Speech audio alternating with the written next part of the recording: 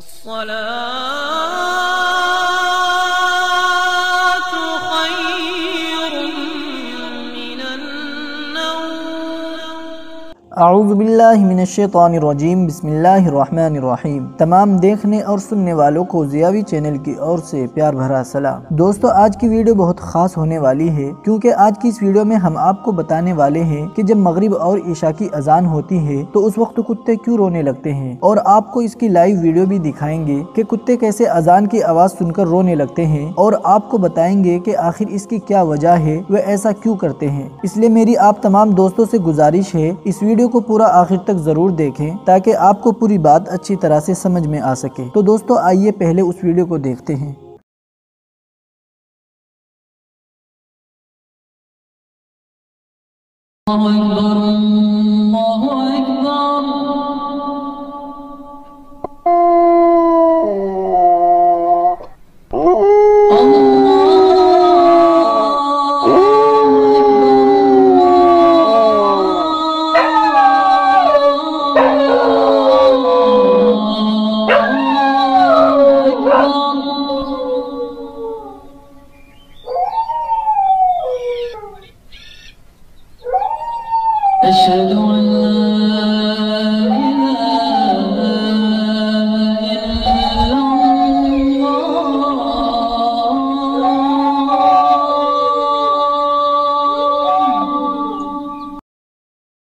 दोस्तों, आपने वीडियो में देखा कि कैसे ये कुत्ता अजान की आवाज़ सुनकर रो रहा है, जबकि इसे कोई बीमारी नहीं है और ना ही वे किसी वजह से परेशान है। आइए अब आपको बताते हैं इस्लाम क्या कहता है इस बारे में। हज़रत जाबिर रज़ी अल्लाह से रिवायत है कि हुजूर सल्लल्लाहु अलैहि वसल्लम ने इरशाद फरमाया कि जब तुम रात के वक्त कुत्ते का रोना और गधे का चीख ना सुनो तो तुम उस वक्त अल्लाह ताला से पना चाहो, इसलिए कि वे उन चीज़ों को देख सकते हैं जिन चीज़ों को तुम नहीं देख सकते, और दरवाजों को खुला मत छोड़ो। यानी दरवाजे बंद कर दो और दरवाजे बंद करते वक्त उस पर अल्लाह का नाम लो। दोस्तों, इस हदीस का मतलब ये है कि रात के वक्त जब कोई जानवर रोता है, खासकर कुत्ता और गधा, जबकि उन्हें कोई तकलीफ़ और परेशानी ना हो तो उसका मतलब ये होता है कि वे ऐसी मखलूक को देखते हैं जिसको हम नहीं देख सकते, जैसे कि जिन्नात, शैतान और इबलीस वगैरह। दोस्तों, आज की हमारी वीडियो का यहीं पर इख्तिताम होता है। उम्मीद करते हैं आपको ये वीडियो ज़रूर समझ में आया होगा और आपको ये वीडियो काफ़ी पसंद आया होगा। इसलिए मेरी आप तमाम दोस्तों से गुजारिश है, इस वीडियो को लाइक भी ज़रूर करें और हमें कमेंट कर कर ज़रूर बताएँ आपकी इस वीडियो के बारे में क्या राय है। मैं मिलता हूँ आपसे फिर एक और नई वीडियो के साथ, तब तक के लिए अल्लाह हाफिज़।